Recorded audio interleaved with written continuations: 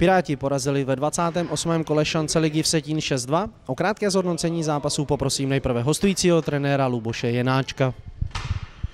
Tak mu to vyhrál zaslouženě.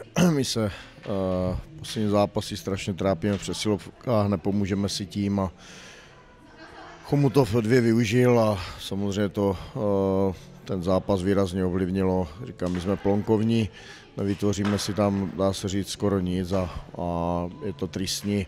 Musíme na tom pracovat a věřit, že se to zlepší.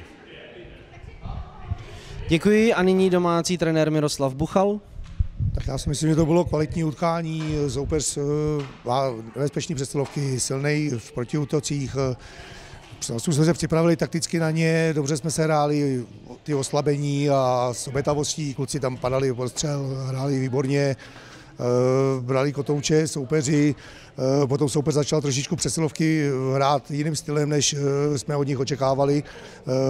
To nás trošku překvapili, ale jsme se s tím vypořádali a, a říkám, kluci s neskutečnou obětavostí to odehráli a, a jednak výborný zápas rychlým přechodem do útočního pásma a dá se říct, že jsme využili šance, který nám soupeř nabídnul a, a bylo to krásné utkání z našeho pohledu.